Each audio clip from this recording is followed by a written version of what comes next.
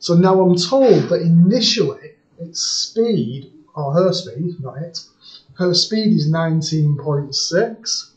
So when t is 0, v is 19.6.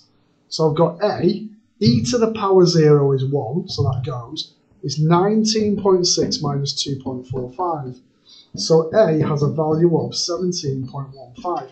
So my equation is v minus 2.45 is 17.15 e to the minus 4t.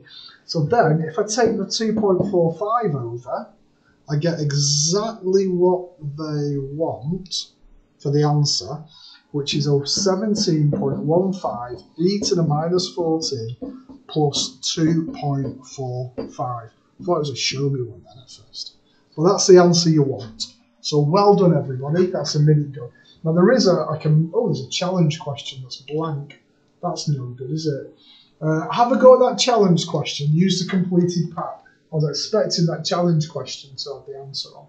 Uh, then after that, there's just a load of questions. So see you later. Well done. Bye.